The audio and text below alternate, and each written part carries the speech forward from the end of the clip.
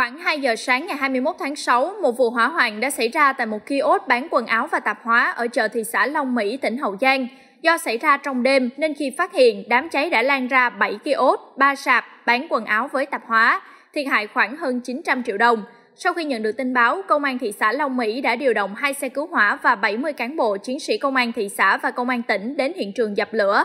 Đồng thời, lãnh đạo thị xã đã có mặt kịp thời tại hiện trường để chỉ đạo lực lượng chức năng dập lửa. Đến khoảng 4 giờ ngày 21 tháng 6, ngọn lửa đã được khống chế. Nguyên nhân vụ cháy đang được lực lượng công an điều tra làm rõ.